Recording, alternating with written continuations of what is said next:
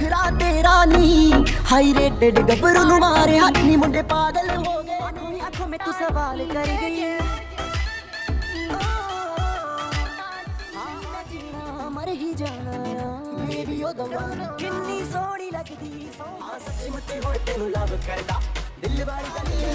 High rated ਗੱਭਰੂ ਨੂੰ ਮਾਰੇ ਹਾਈ ਮੁੰਡੇ ਪਾਗਲ ਹੋ ਗਏ।